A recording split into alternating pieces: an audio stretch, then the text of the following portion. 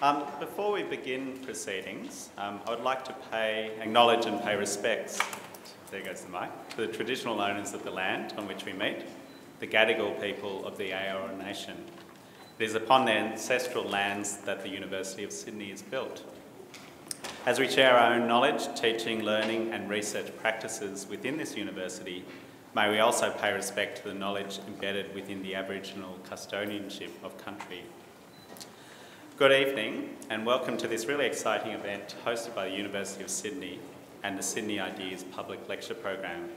My name is Dinesh Wadiwel and I'm a lecturer here in Human Rights and Social Justice in the Department of uh, Sociology and Social Policy and I'll be chairing tonight's proceedings. It is well known that Socrates, at least as represented by Plato, was no fanboy for democracy Indeed, he expressed deep suspicion about democracy and the freedoms it created.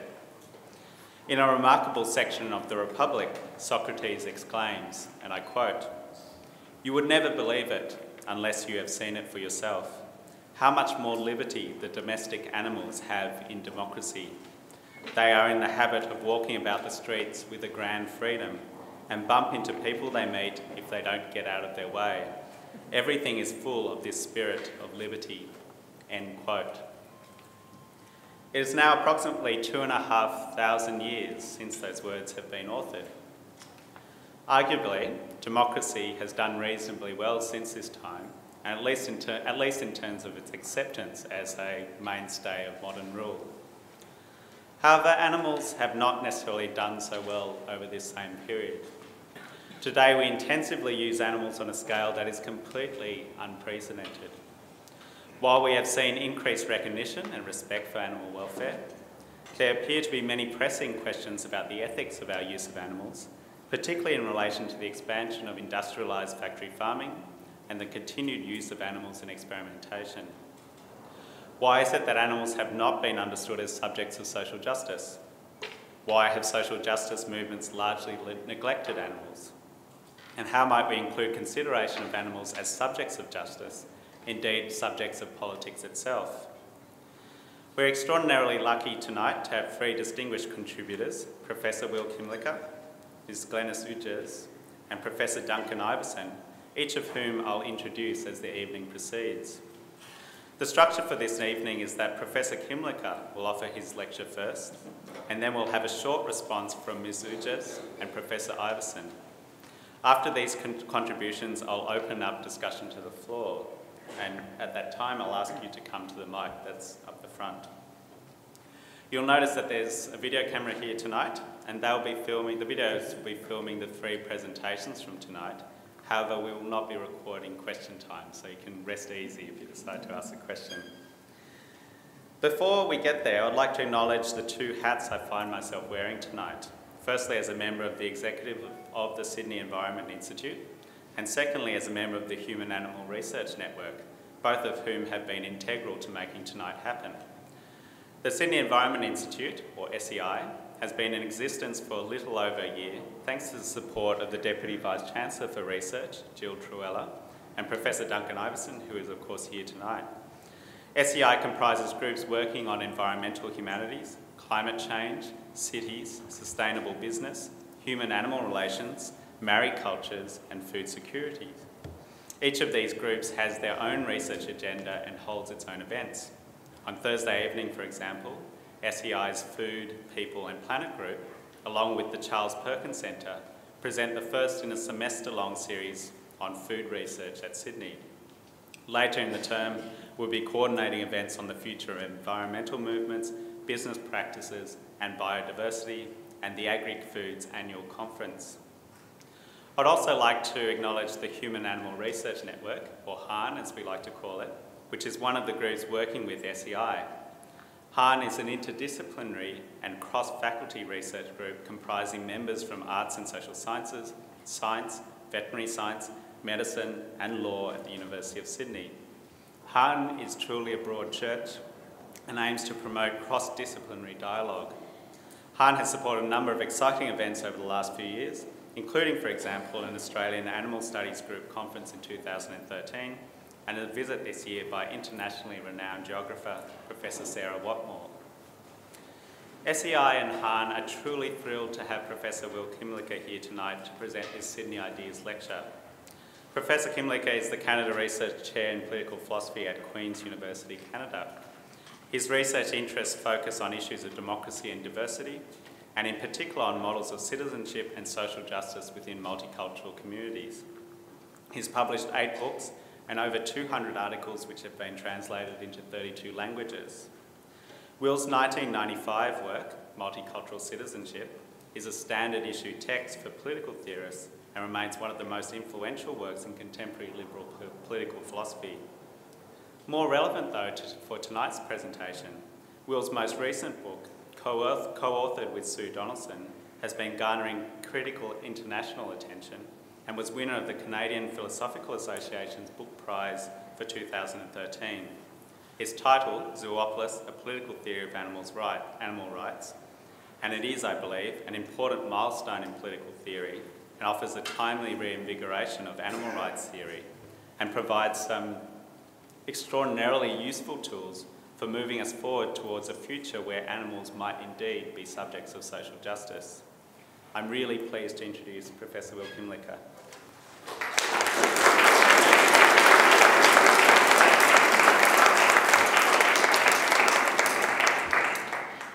Thank you, Dinesh, for the very kind introduction and to the Sydney Environment Institute for inviting me. It's a, it's a delight to be back in Sydney.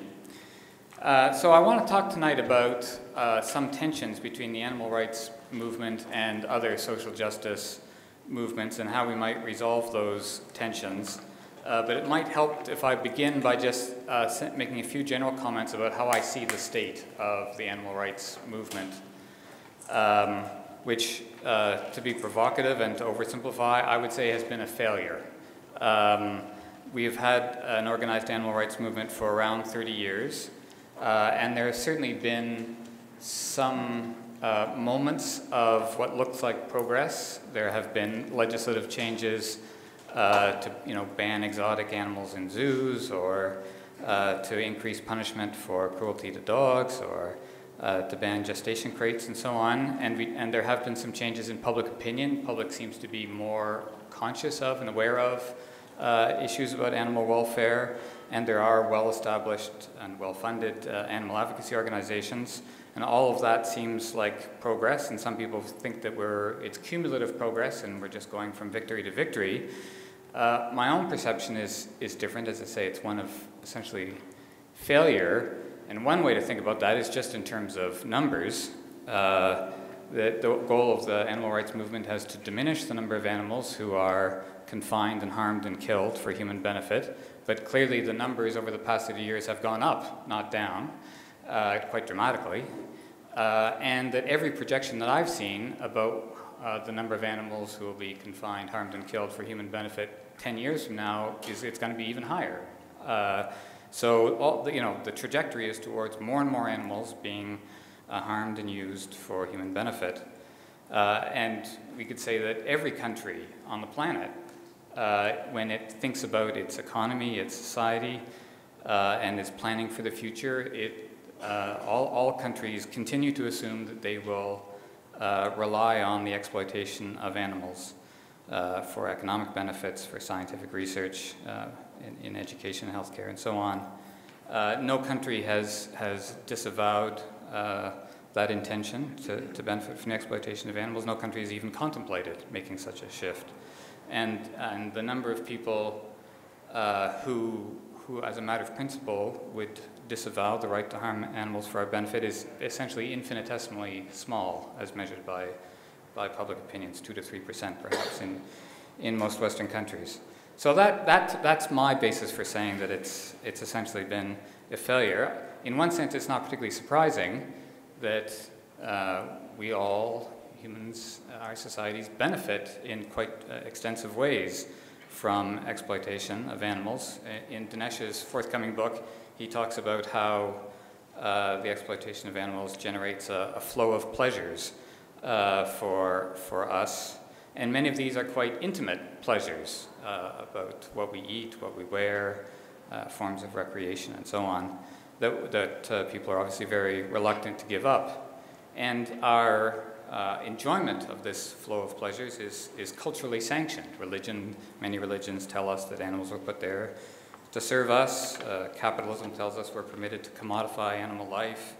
Uh, various uh, European intellectual philosophies have, have said uh, that only those who are capable of certain kinds of uh, rational or cognitive processes are worthy of respect. So, so we have a whole range of, of cultural influences that authorize us uh, to benefit from the exploitation of animals. So given all that weight of, of history and culture and, and, and self-interest, it's perhaps not surprising that, that the animal rights movement has been a failure, that may have been overdetermined. What I think is more interesting, and what I really want to talk about tonight, is not why uh, the animal rights movement has failed in, in general, amongst the general public. I'm more interested in why, why the animal rights movement has failed amongst the left. Uh, so, if, you, if why uh, have so few other uh, social justice organizations or movements expressed any sympathy with uh, the animal rights movement? John Sanbonmatsu says that that the left historically, up until today, has responded with more or less complete indifference to human violence against animals, and that seems to me an accurate statement about the left.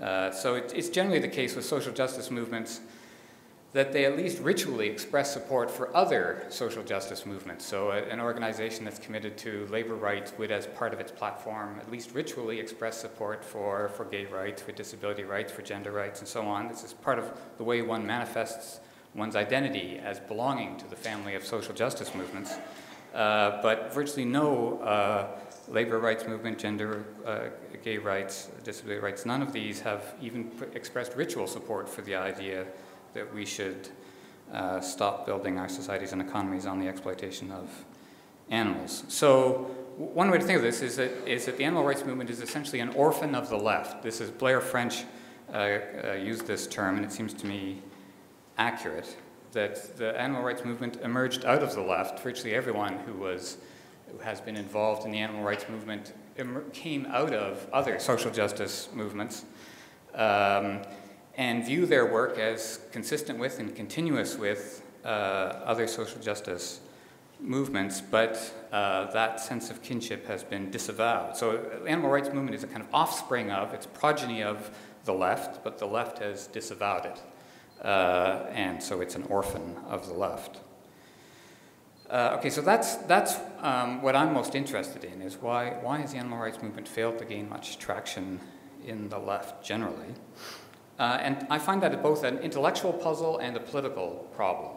So let me start first with why, why I find it an intellectual puzzle.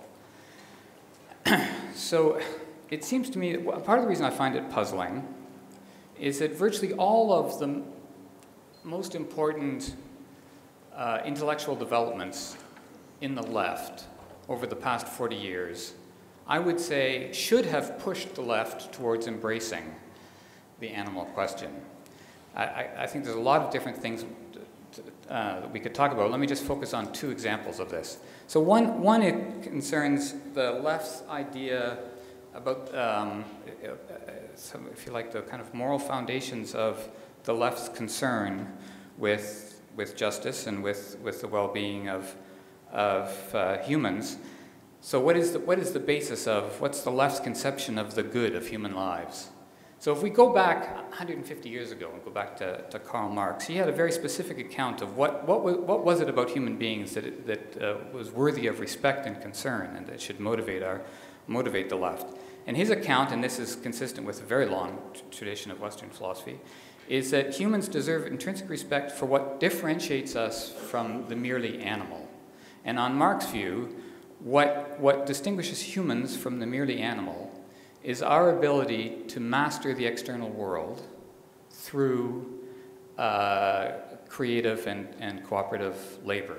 So this is often described as Marx's kind of Promethean view of, of uh, human species.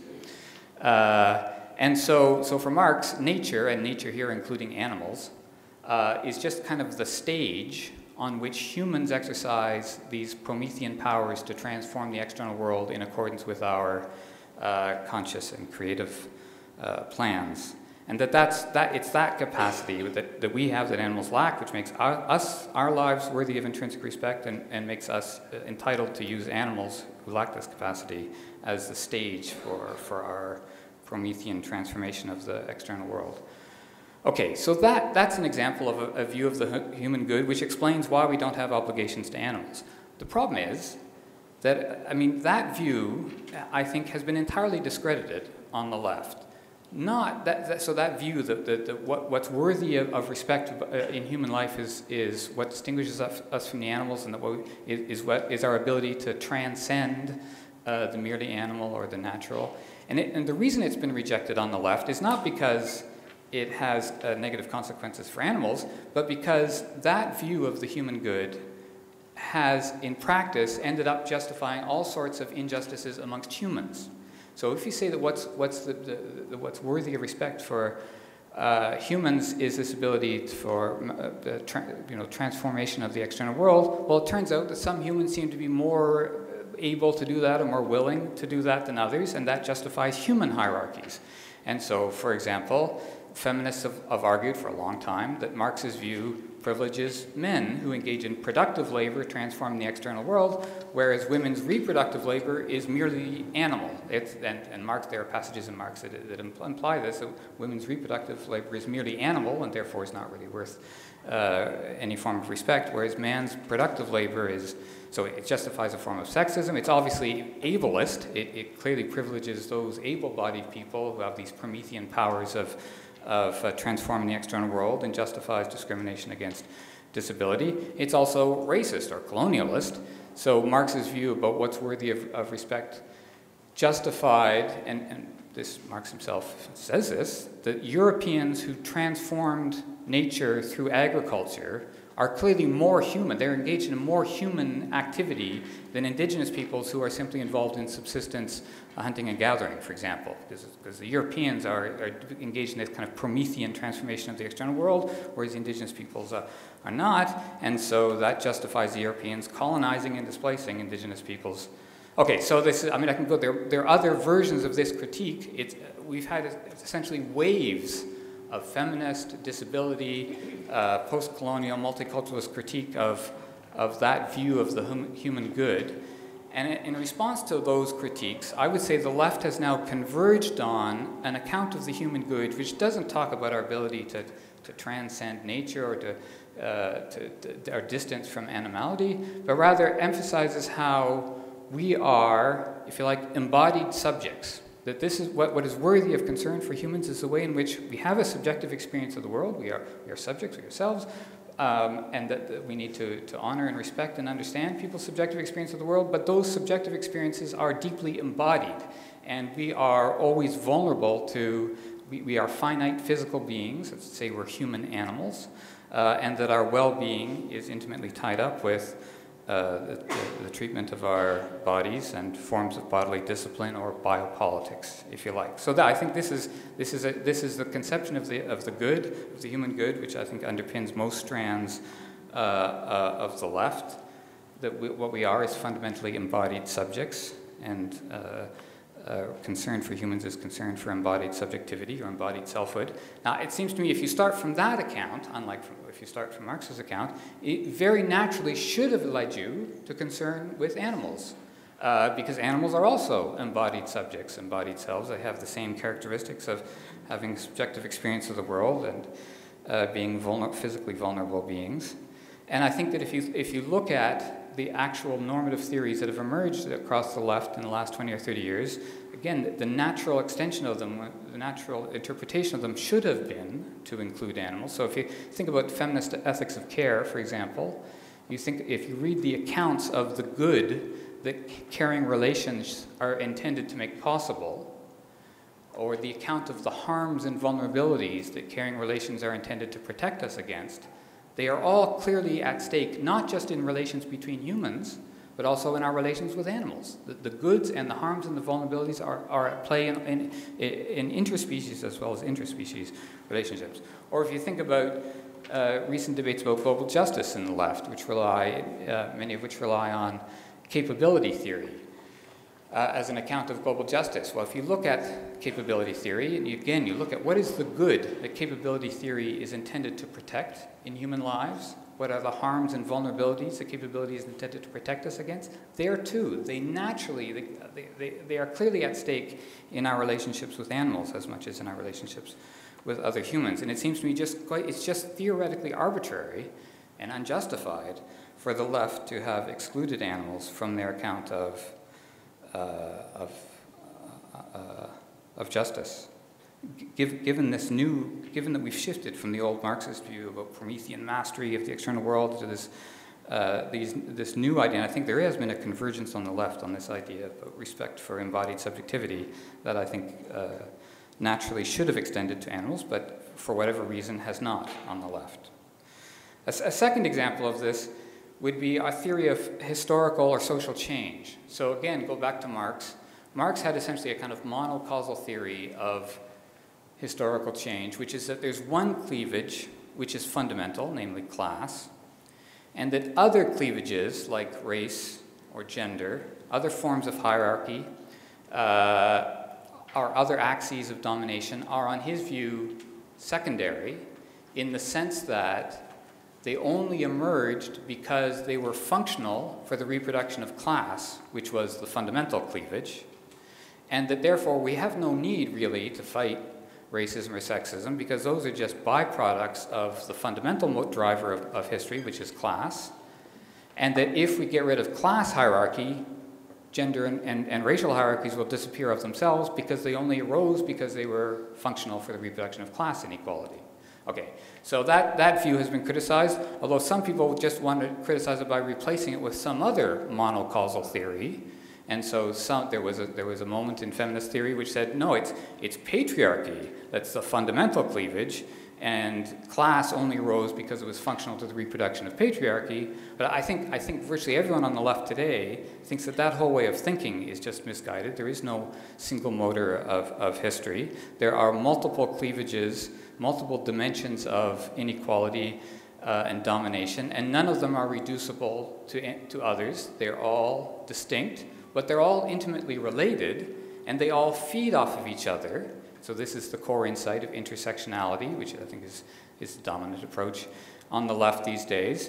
And so, for example, if you want to understand the nature of class hierarchy in our society, we need to understand the way in which class hierarchies are connected to, related to, racialized, there's a racialization of class, and there's also uh, the, so, so race feeds into our understanding of class and vice versa, and that's what intersectionality is, is about, so trying to understand the way in which those, these different hierarchies energize each other, how they feed each other in ways that uh, uh, reproduce injustice. Okay, so that's the dominant view on the left today about our theory of social change, is we need to understand as a system of interlocking oppressions.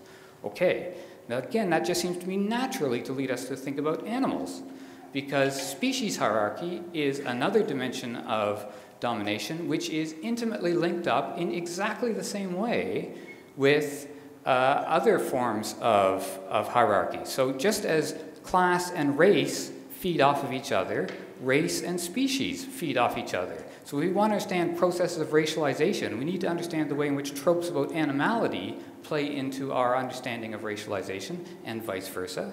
These hierarchies, so Claire Jean Kim talks about the way in which uh, racial hierarchies and species hierarchies uh, energize each other in exactly the way that in, uh, intersectional analysis would predict, and yet 99% of the stuff that's done under the heading of intersectional analysis on the left today completely ignores the question of species.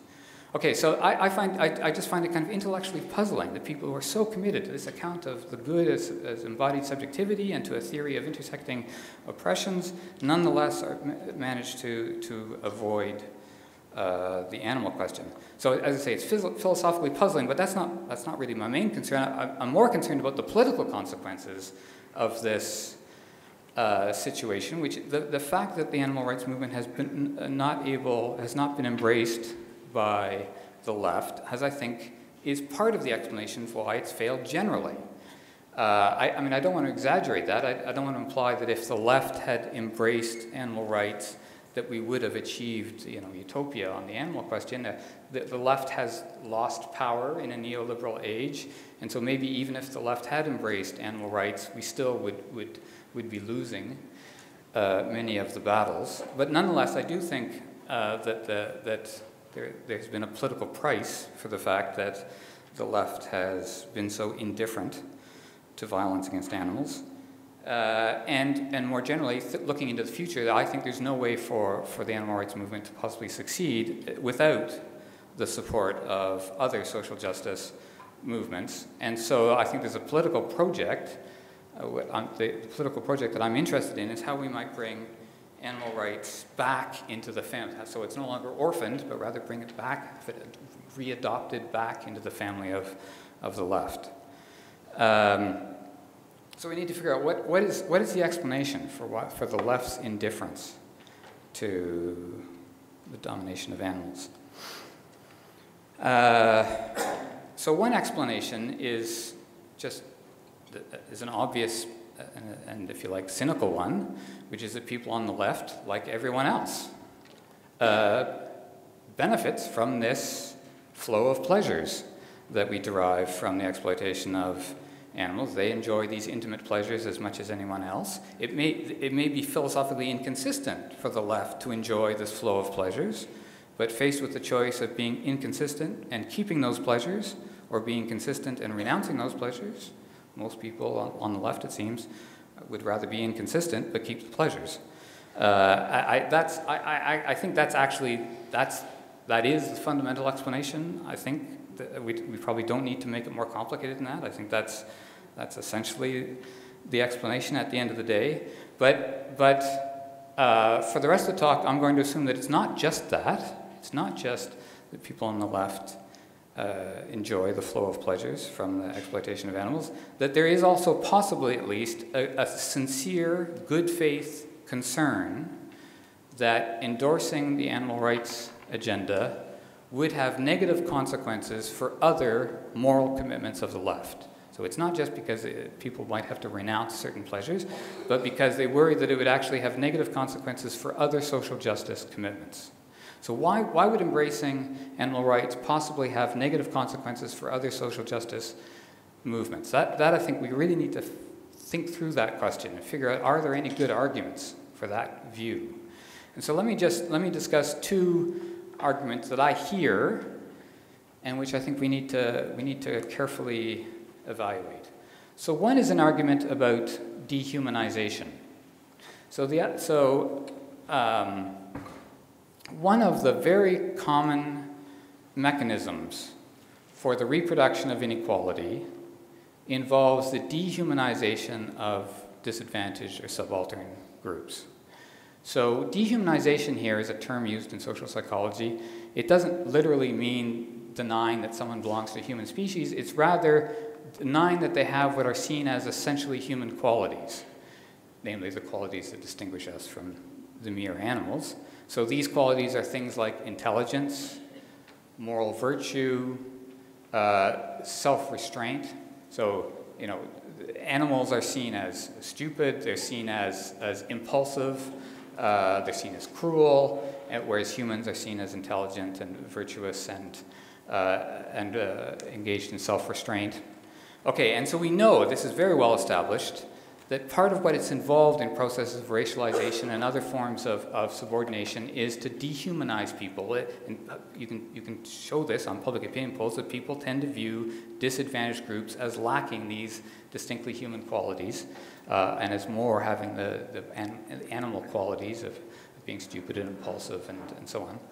Uh, and that that's important. It's not just that it's a, it's a, it's a, a uh, nasty form of prejudice, but it's also, we know that when people uh, uh, have these dehumanized attitudes about outgroups, it affects their behavior towards these outgroups. That is, it justifies, if you, if you think that these outgroups lack these distinctly human qualities, it justifies treating them roughly. I mean, to put it simply, it justifies treating them coercively, uh, paternalistically, because they're, they're impulsive. Yeah, Uh, and so, so there's, a very, there's a very tight psychological link between processes of dehumanization and negative, negative treatment. Okay, so this is, this is a fundamental problem for the left. Uh, it's, a, it's, a, it's a challenge. It's one of the fundamental tasks of the left is to fight against these processes of dehumanization, right?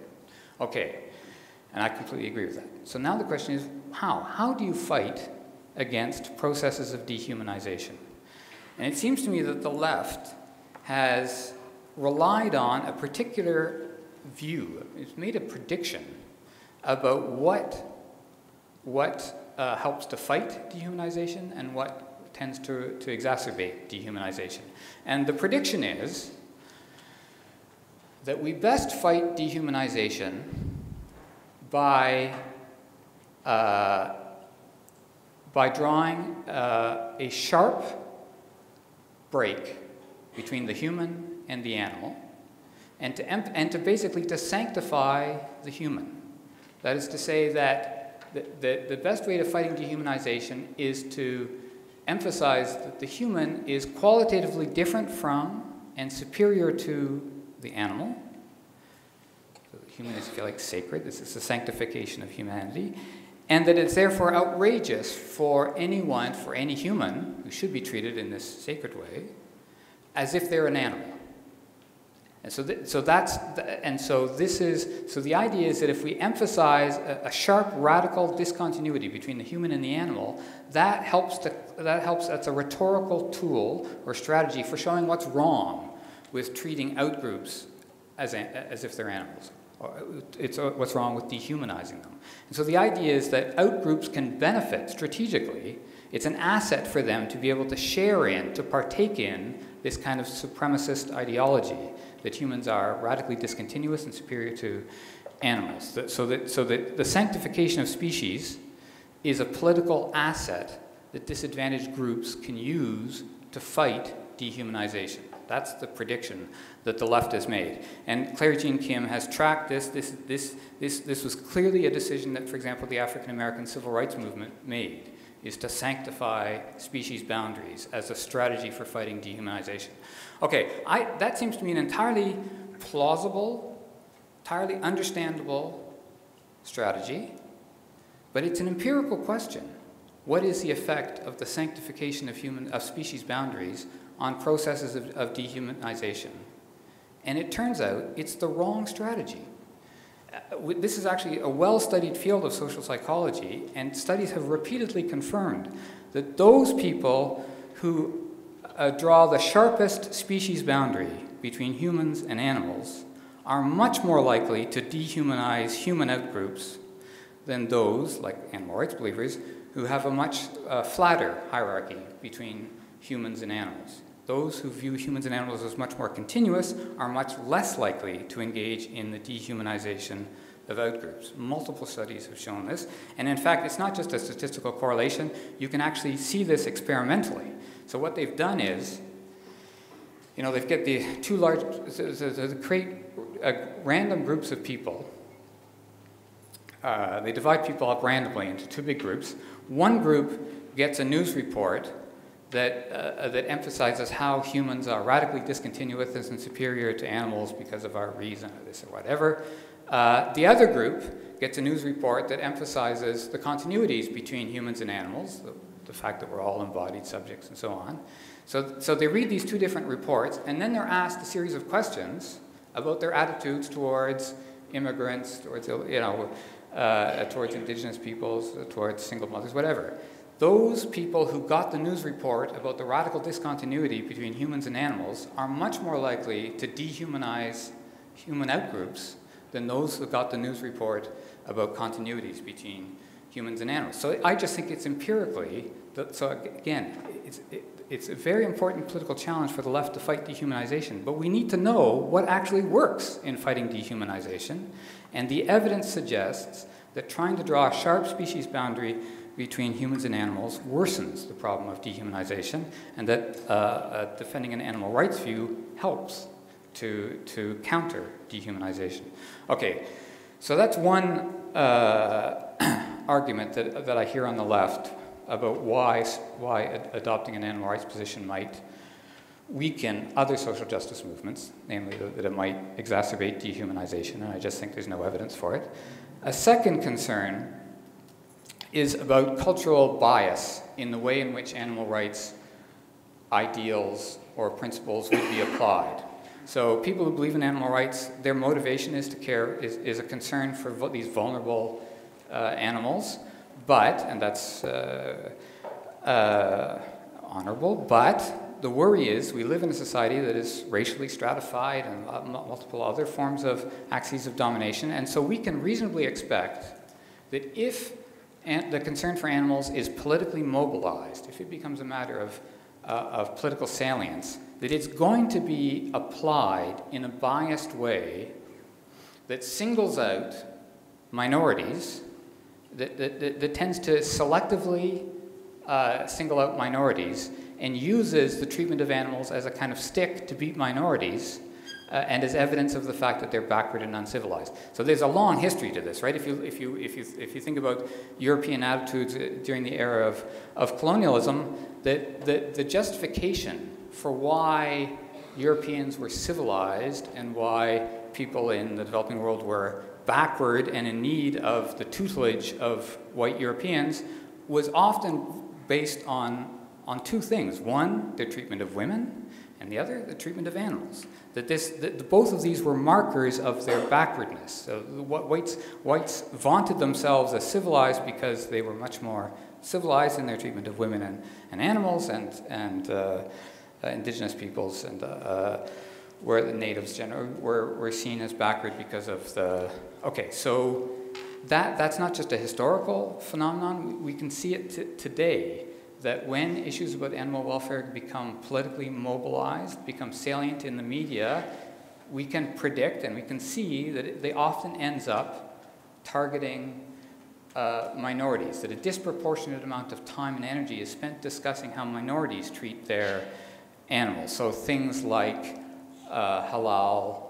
slaughter, uh, ritual slaughter by Jews and Muslims, or things like indigenous peoples and the whale hunt in the United States or the seal hunt in Canada, or religious sacrifice uh, by the Santeria religion. Uh, they sacrifice chickens as part of their religious ceremonies. Um, so, so all of these have been matters of kind of intense uh, or shark fin soup uh, by, in Chinese communities. Um, so these have been subjects of kind of intense media scrutiny and public debate, even though all of them added up together are just a tiny, tiny fraction of the number of animals that are abused in our society, most of whom, the overwhelming majority of whom, suffer at the hands of institutionalized uh, factory farms or, or scientific uh, experimentation, which is done by dominant groups. But, but that, that is more or less left undiscussed, and instead, uh, concern for animal welfare gets gets latched onto minorities, and not just accidentally or unintentionally, but in, in some cases quite deliberately. So we see, for example, a very disturbing phenomenon in Europe these days that right wing anti immigrant parties who've never, ever lifted a finger to help animals have all of a sudden become champions of animal rights as a tool to beat Muslims on the issue of ritual slaughter. So a number of anti-immigrant parties have made it part of their platform we need to protect uh, animal welfare by banning ritual slaughter. They don't care at all about animals. They, they I mean, this is completely insincere. What they, what they want is to make life miserable for Muslims. That's what they want to do, and they're using animal welfare in a purely instrumental way to achieve that. Okay, so this is, this is uh, we, we should expect this process to take place. It's taking place, we should expect it to take place.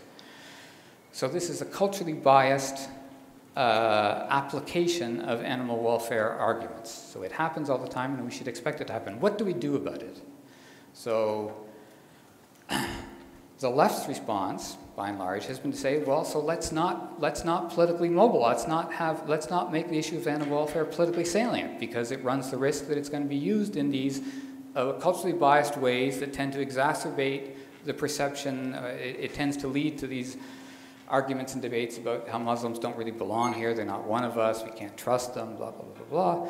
Uh, so rather than risk that, let's just not politically, let's, let's not let issues of animal welfare become politically sand. Okay, what's interesting, it seemed to me, is that The same issue arises with respect to women's rights, right? They, all of those dynamics are also at play in the case of women's rights. That it's, it's selectively uh, applied in ways to, uh, that often target minorities.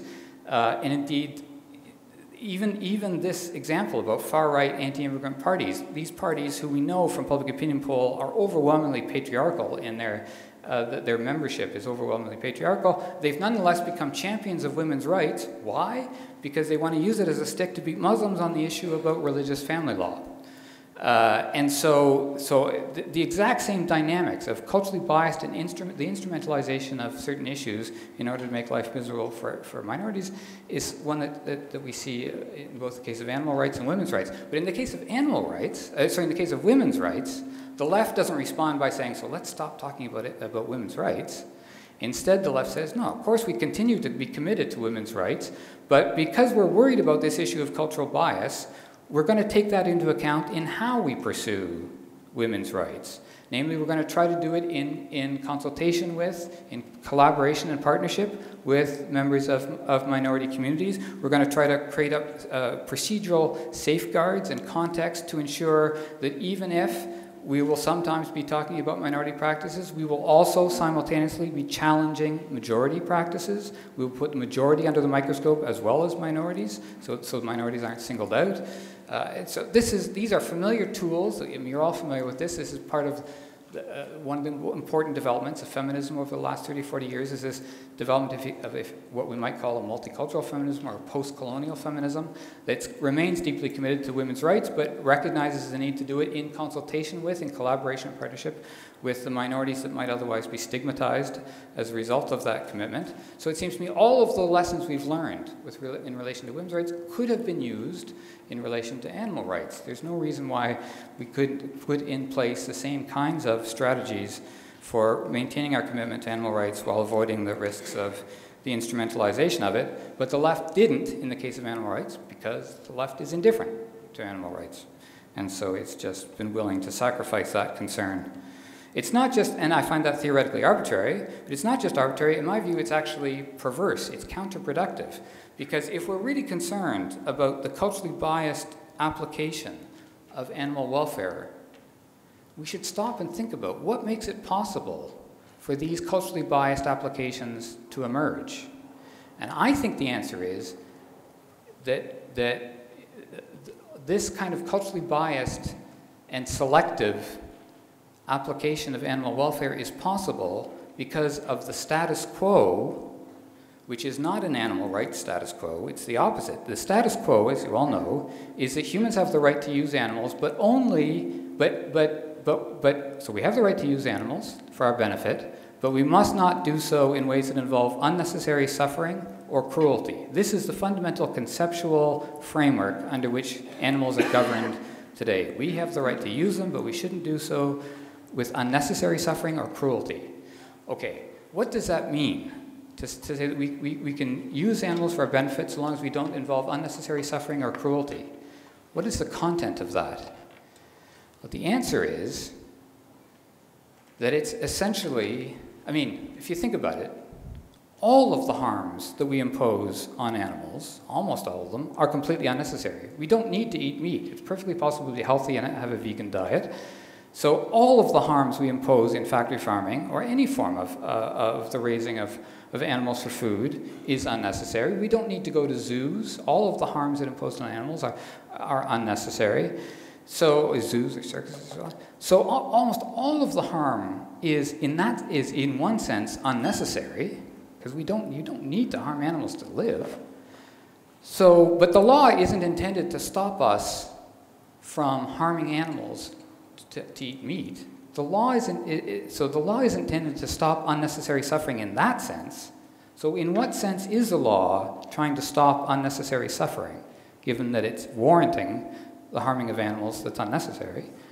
What it means is, in practice, the law precludes those forms of suffering that the majority in a society finds uncomfortable. Or, or, put another way, the law precludes those forms of suffering that, that do not contribute to the flow of pleasures for the majority, but rather compromise the flow of pleasures to the majority because of majority sensibility. So, for example, the majority in our society likes to eat pigs. So therefore, the suffering we impose on pigs is not unnecessary because that contributes to our flow of pleasures. So it's not cruel, it's not unnecessary, the harms we impose on pigs. But the majority does not eat dogs. Some minorities do, but the majority doesn't. So the majority views eating of dogs as unnecessary suffering and cruelty. So that the, so the eating of pigs is not un, is necessary suffering and it's not cruel because that's what the majority does. The eating of dogs that's unnecessary suffering that's cruel because that's what a minority does. This is just this is a cultural bias. There's no possi- there's, there's no there's no possible moral justification there's nothing about the nature of the animals or their interests that explains this differential treatment. It's just a, it's just a difference in the cultural uh, biases of, of practices of, of one, one society or another. So, so the current legal structure encourages, it invites, I would say it actually makes inevitable this sort of cultural bias. Because we work in a legal structure which is not based on animal rights, but rather is based on this idea of the right to benefit so long as it's not unnecessary or cruel, that in, inevitably, I think, it will always operate in a way that immunizes the majority. Whatever the majority does to animals is seen as necessary. Whatever minorities do that doesn't contribute to the majority's flow of pleasures is seen as unnecessary and cruel. It, it, the, the current legal structure not just permits, I think it actually guarantees the culturally biased application of animal welfare. By contrast, if we actually had an animal rights agenda, it, uh, it, it, would provide much less scope for this kind of culturally biased application of animal welfare because it would define legality in terms of the rights of animals rather than in terms of majority sensibilities or majority practices. Of course, if we had an animal rights agenda, it would mean that min some minority practices, minorities would need to, to be held accountable, would need to give some account, some moral justification for their practices, such as eating dogs but only on the same terms that the majority would have to give some justification for its eating of pigs. And, I, and my, yeah, okay, so, um, so, um, so I, so, and I think that's what we want. If we want to, to challenge this culturally biased interpretation of animal welfare standards, we precisely need a legal framework which does not privilege majority practices or majority sensibilities, but rather requires both majorities and minorities to give some moral justification for their treatment of animals.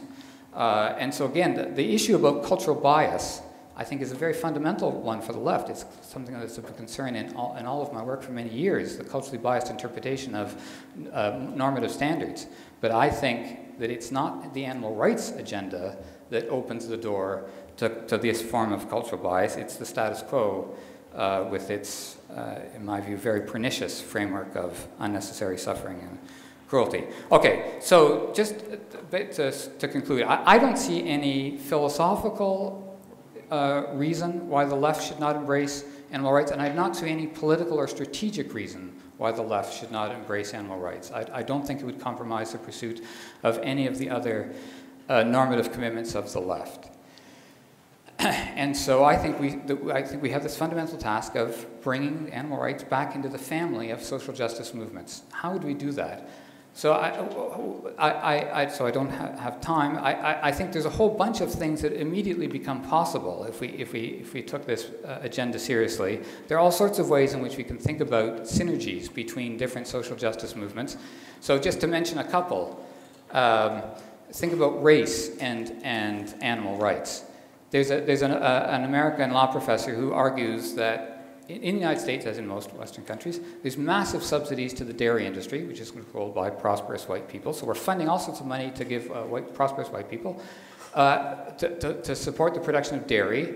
And then there's a legal requirement that public institutions like jails, schools, hospitals buy the dairy to, to give to whom? Often racial minorities, blacks and Latinos, many of whom are lactose intolerant uh, so it's, so, and it's causing this public health catastrophe of both obesity and, and diabetes uh, in many of these racial minority populations. So this law professor argues that this policy of, of subsidizing dairy is a form of racial discrimination.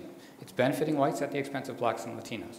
I think there are many ways in which the, the, our food pathways in our society are racially stratified, class stratified, and that, that, that uh, pushing for a plant-based alternative would be ways of addressing a whole series of injustices around them. Uh, another example would be around gay rights. Patrice Jones is, is the founder of a, an animal sanctuary in the United States. She's a, gay, she's a gay and lesbian activist for many years. In her struggles for gay rights, one of her biggest, as, as with all, all such activists, one of her biggest targets has been ideologies of compulsory heterosexuality. Right? This is one of the fundamental targets of the gay rights movement. Okay, if you want to see compulsory heterosexuality in action, go to a factory farm or go to a zoo. These all operate on ideologies of compulsory heterosexuality. And so, from her point of view, and this is something she's written about, there's absolute continuity uh, between the struggle for gay rights and the struggle for animal rights and the way in which factory farming suppresses animal sexuality. Uh, we could also talk about links between animal rights and, and disability movements and the, how ideologies of ableism are underpin uh, injustices in both cases. Okay, so I think there's a lot of such examples for possible alliances uh, uh, and grassroots connections. But let me just, if I have one minute, uh, I, let me just suggest, and I'm just going to throw this out because I don't have time, that, that one other thing we could do, and this has been the focus of my own work with Sue, is to change the conversation about animal rights at a more general theoretical level. And I'm just going to throw this out. It's going to be too quick. It'll be cryptic. It probably won't make any sense. But the debate we've had for 40 years on animal rights has been a debate on intrinsic moral status. And that's an important debate, and I've tried to suggest that the left's own account of what's worthy of concern in a human life extends to animals. So, we, so that, that's an important debate, but it's not the only debate we should have. What I would suggest is that we also need to think about the membership of animals. We need to shift from focusing just on intrinsic moral status to issues about membership. And particularly in the case of domesticated animals, and that's after all the fundamental issue for animal rights, is the domesticated animals that we intensively exploit, confine, exploit, uh, and kill for our benefit. I think that we should think of animal, uh, domesticated animals not just as embodied subjects who are therefore entitled to, to concern and respect, but as members of our society. We have made them members of our society. That's just what domestication is. Domestication is a process of taking animals out of the wild, cutting them off from their former life, breeding them to be dependent on us, and incorporating them into our scheme of society and economy. Obviously, on vastly unfair terms. So, justice requires recognizing that we have made them members of our society and according them membership rights. And the tool that we use to recognize membership in the human case, is citizenship. So the story that Sue and I tell in Zoopolis is that with respect to domesticated animals, we should think of them not just as individual beings, embodied subjects who are owed certain rights, we should think of them as members of our society, as our co-citizens. Okay, if you think, uh, that may seem like a strange, radical idea, but if you think about it, I actually think it opens up a whole new vista for creating synergies between different social justice movements. Because all of the social justice movements I've mentioned, I think, are fundamentally citizenship struggles. We call them social justice movements, but they're also called citizenship struggles. And I think that's right in the sense that all of these movements are struggles for what Jim Tully calls citizenization. It's not a very happy term, but the idea is that, that relations between different human groups have historically been based on force and, and coercion and paternalism, and that we want to replace them with relations based on on consent, on, on autonomy, on trust, on partnership, on participation. That's what citizenization means in this very broad sense. and I think that that also should be the way we think about our relations with domesticated animals. That we should try to think about ways of enabling them to be members of our society and in ways that make sense to them, uh, able to have a say over the governing of their lives. And that, and so all of the, these are all citizen, these can all be seen as struggles for citizenship or citizenization, and they all involve trying to create new spaces, new places for all of the diverse members of our society to participate, uh, to engage in trust and cooperative relationships, which would give them the ability to shape their own lives. And I think that, that, that if we think about citizenship in this way, uh, inclusive membership in a society across species, uh, that would radically disrupt our inherited notions of citizenship, which have not only been exclusive to animals, they have also had a very pernicious effect in excluding many humans. Our inherited ideas of citizenship have, been, have created a whole series of injustices for racial minorities, for people with disabilities, for children, for others, as well as for animals. And so, if we, it, so this is just this is the, the as I say, I realize this is cryptic, it's too quick, but that uh, the, the, what I'm hoping it, our work will do is to offer a vision of inclusive membership in a mixed human and animal society, which would be guided by the goal of enabling all of its members to participate, to, to, to, exercise some degree of say over what matters to them. And that this would involve creating an entirely new set of, of ideals and practices of citizenship that would contribute to justice for both humans and animals. Thanks.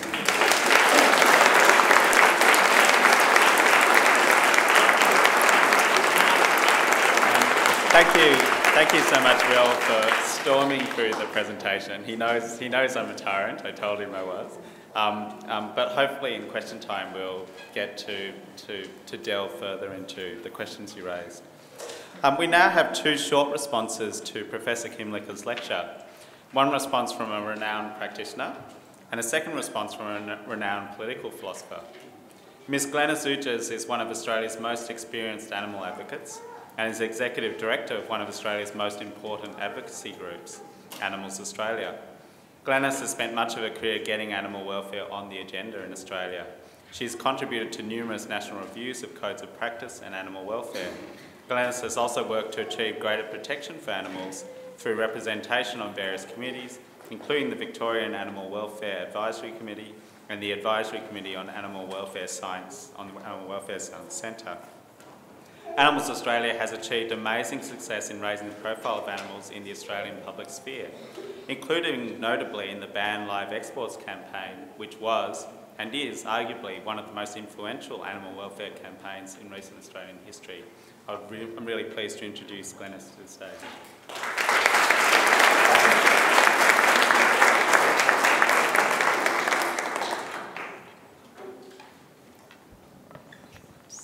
Thank you, Dinesh.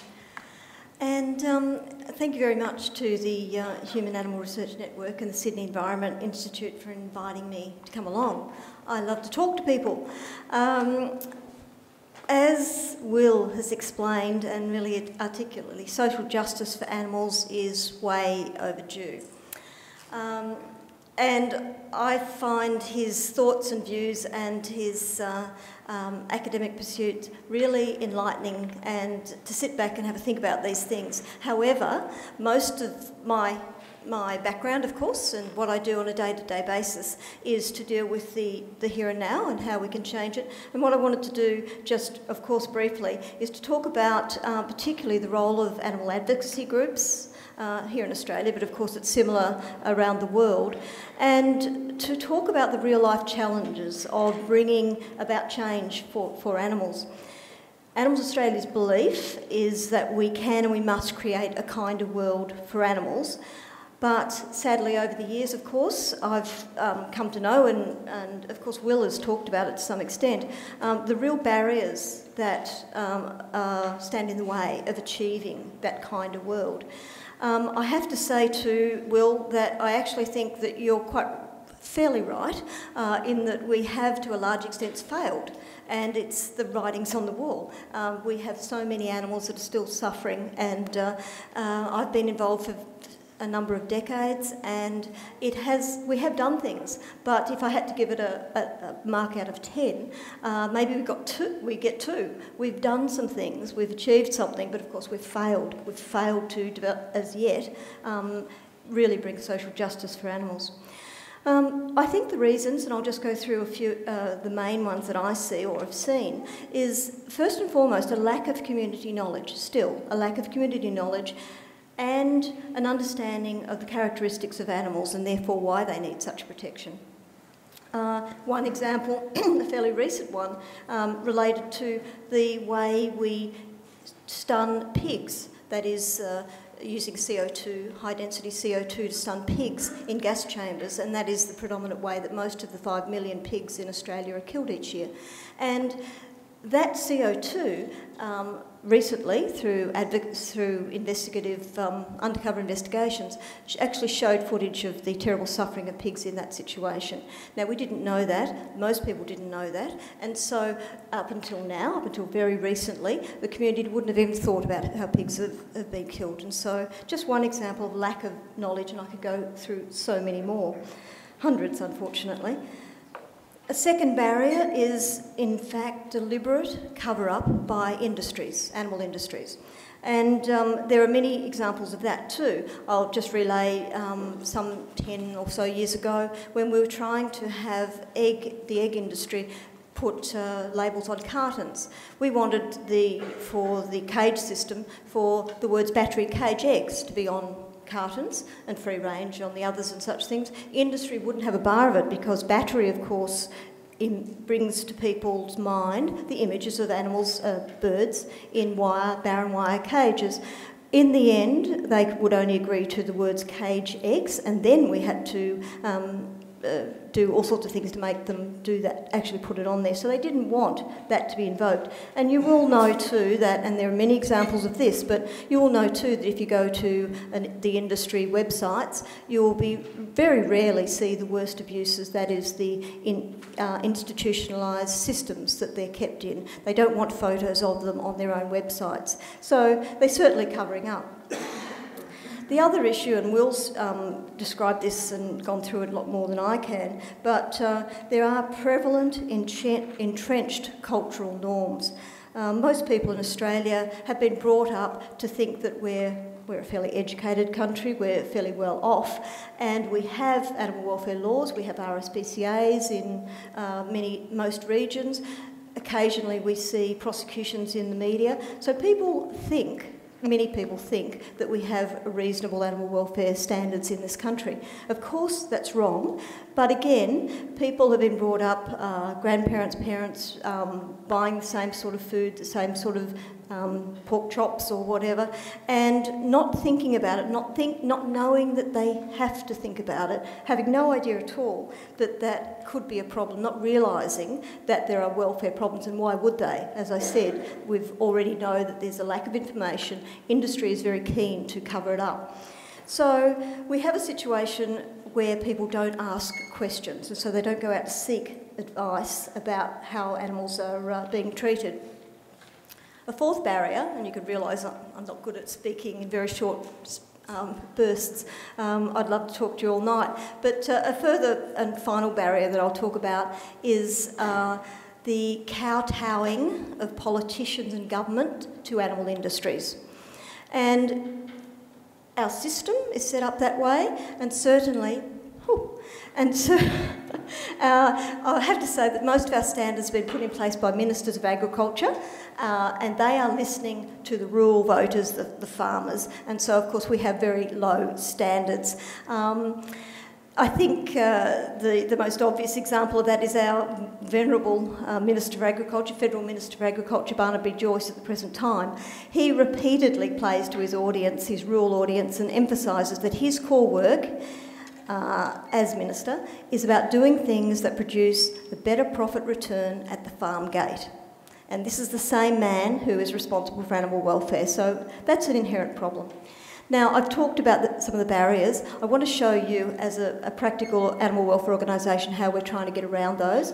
And um, our strategies for change, if you like, and they primarily are trying to get through those barriers, uh, white anting those barriers, flying right over the top of those barriers if we can. And um, one of our most recent campaigns, you may have, may have seen some of it, the Make It Possible campaign. And that's what it's all about, trying to empower, inform people, have them empathise with the animals in situations that are, that are quite cruel and to indicate to people how they can actually do something about it, so empower them. And so that's what it's all about, making it possible. I want to show you um, a short two minute um, video. Um, one of the ways we're trying to do something about that, and then I'll just comment on it afterwards. Thank you. Every day is the same for her. She never gets a break. She's going crazy. Been cooped up all day with nothing to do. She never gets a chance to spread her wings or live a little. There ain't no way to treat a lady. Most eggs in Australia are still laid by hens confined in battery cages. Choose kindly and help make cage eggs history. That's uh, part of our um, Ain't No Way to Treat a Lady um, campaign, and uh, a shorter version of that's been on television through this year. Um, so we, we have tried to inform people, but of course what we've got to do is engage them, grab their attention, engage them, try to teach them a little bit about the characteristics of the animals involved, therefore evoke empathy, and then give people a way to do something about it. Um, and it's as simple as that. Um, in addition, and we've had to use paid media because there are so many barriers against getting information out there in other ways. Um, in addition, and this is what I'm optimistic about, um, that in, a, in more recent times we've been able to uh, grow our audience, if you like, um, through the web, through particularly Facebook. I think we're almost up to 400,000 people just on our, um, our, our, main page at the present time. And we're able to get out to several million people every week with our material and content. And that is so, so different to even a few years ago. So um, I do think that we'll be able to change things over time, and I hope not nearly as long as uh, it's taken to get to this point, um, because we do have better tools, and we have a very big following, and more important than that, we no point uh, preaching to people that already know. Um, we are every week getting out to more and more more people. What um, you'll notice with a campaign like this and many of our campaigns is that we are deliberately bypassing the politicians and the government because they're not going to do this for us. Community's going to do it for us. Consumers in most campaigns can help, but any event, community voices, and so that's what we have to get to. Um, so in conclusion, our strategy is clear and transparent, knowledge, empathy, leading to effective individual action. And I do have faith in informed individuals changing the paradigm, caring about animals. I think it's inherent that we do care once we know, and not just about animals, about other vulnerable groups. Um, but we do have to do a lot of work to get to that point. Thank you.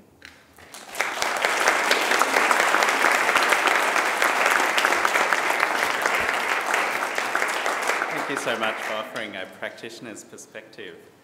Professor Duncan Ivison is currently Dean of the University of Sydney's largest and oldest faculty, Arts and Social Sciences, where he also teaches in the Department of Philosophy.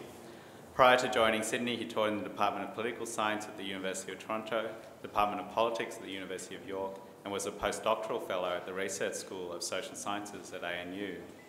Duncan has published four books, including Post-Colonial Liberalism, which was awarded the 2004 C.B. Macpherson Prize, and with Paul Patton and Will Sanders, the edited collection Political Theory and the Rights of Indigenous Peoples.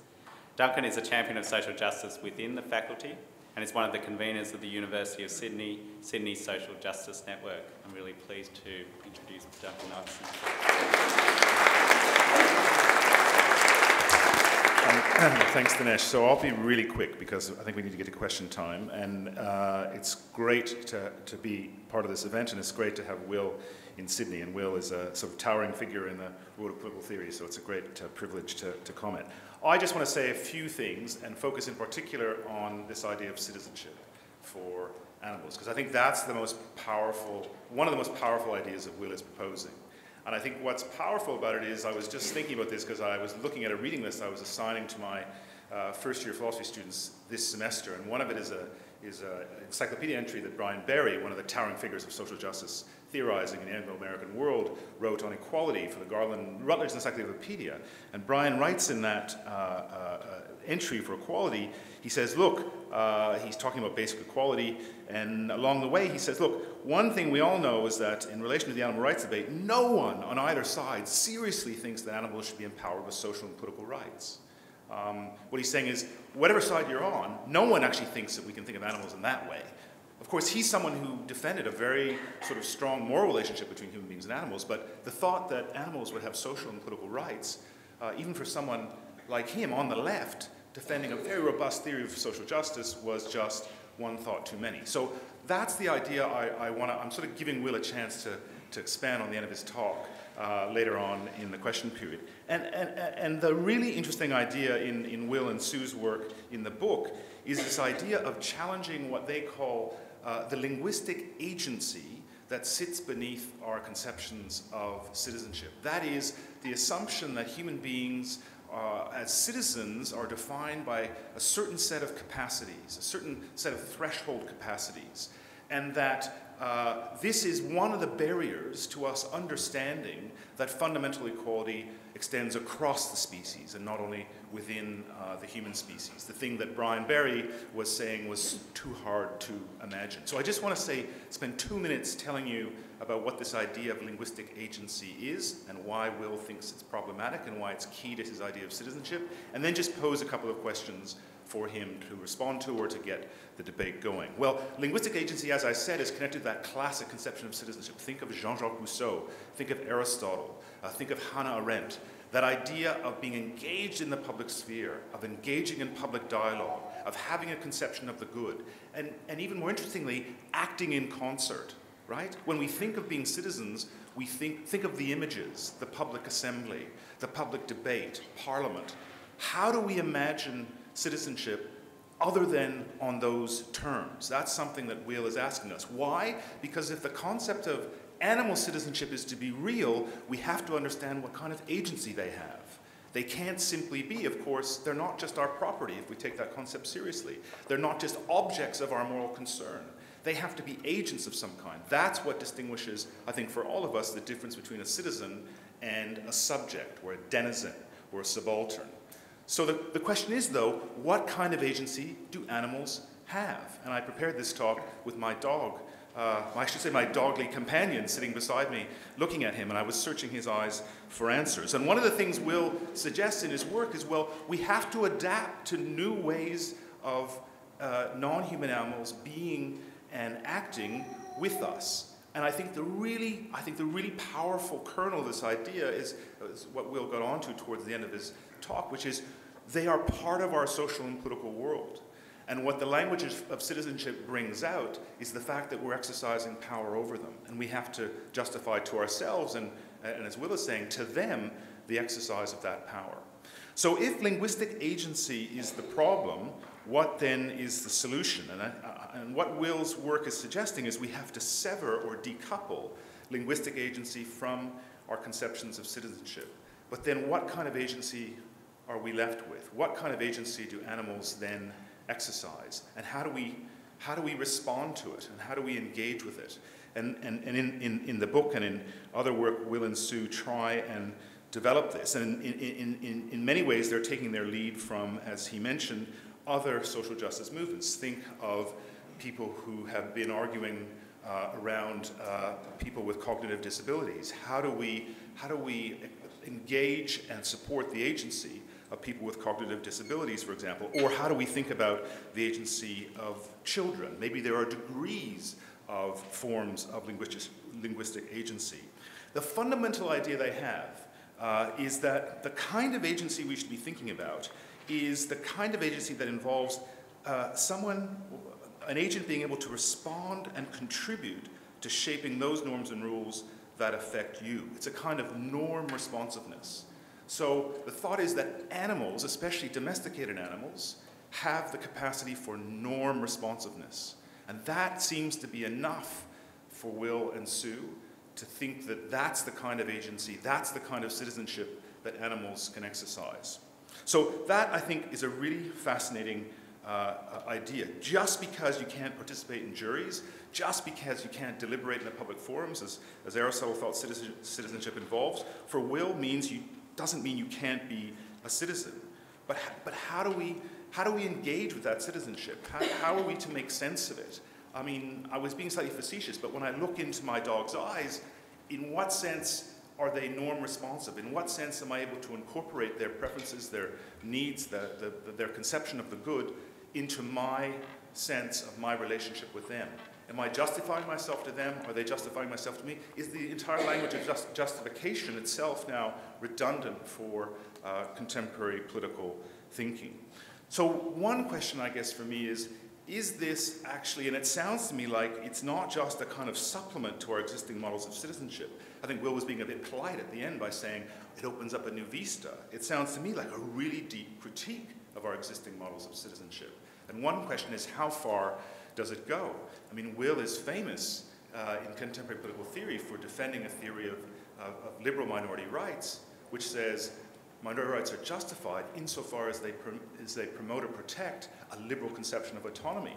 Well, this argument of moving away from citizenship as linguistic agency seems like a pretty deep critique of our senses of autonomy, right? The agency that Will and Sue are talking about is a kind of norm responsiveness. It's not about independence, it's not about sovereignty, it's about being embedded in much more complex, subtle relationships. Indeed, it takes its lead in many ways from a lot of feminist and uh, post-structuralist political theory. And it's fascinating to think or to uh, sort of get Will to think about how far this critique of citizenship really goes.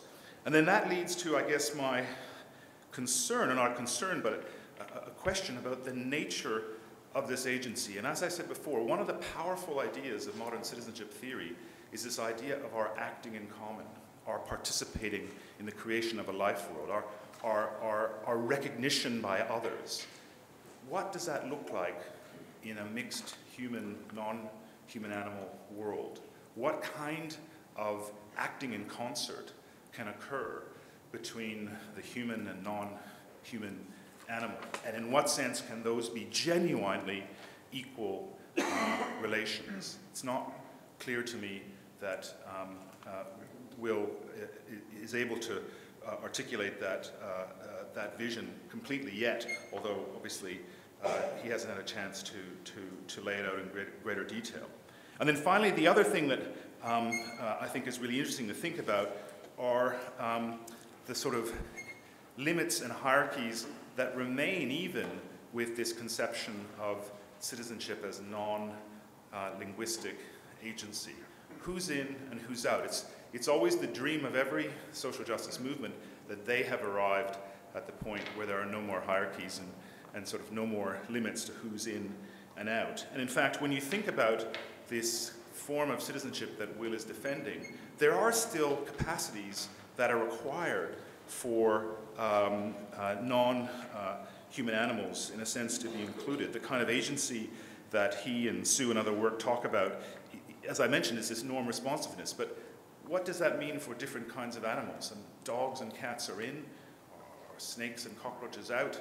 I mean, domesticated animals are vast sort of array of different kinds in our world. So who's in and uh, who's out? And on what grounds can we make those distinctions. I think that's important because ultimately this is motiv motivated by a deep conception of equality, fundamental equality, the, the equality that Brian Barry argued could not extend uh, across species.